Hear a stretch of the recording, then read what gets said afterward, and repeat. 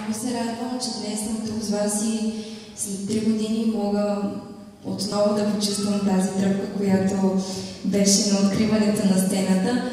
И за мен е чест и привилегия да пея тук пред вас и да ви забавлявам с това, което най-обичам и най-умея.